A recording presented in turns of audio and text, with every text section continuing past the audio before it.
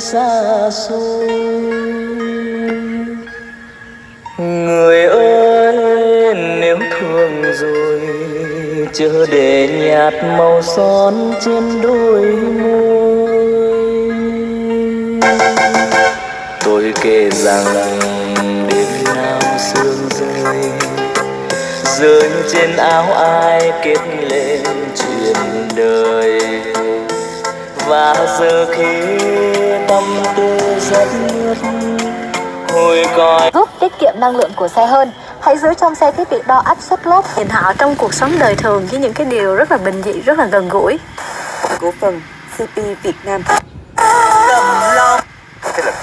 Kim Ánh trong nội dung sống khỏe À, với chương trình này thì chúng tôi cũng à, hy vọng là sẽ tiếp tục với những câu chuyện, những vấn đề à, liên quan đến sức khỏe của à, các à, thai phụ nè, liên quan đến sức khỏe của à, chị em phụ nữ với những vấn đề liên quan đến sức khỏe sinh sản. À, những câu chuyện mà có thể nói là nói hoài cũng không hết phải không ạ?